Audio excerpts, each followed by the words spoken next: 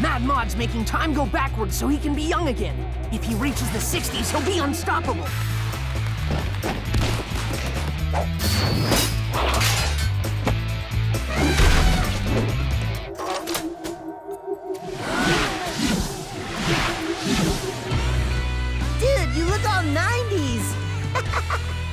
nice mullet.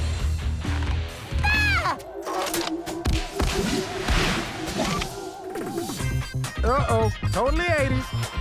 Seriously? Are you kidding me? 70s. We're running out of time. Like, yeah, and BB Smacks. Ruh-roh. The 60s. Not for long.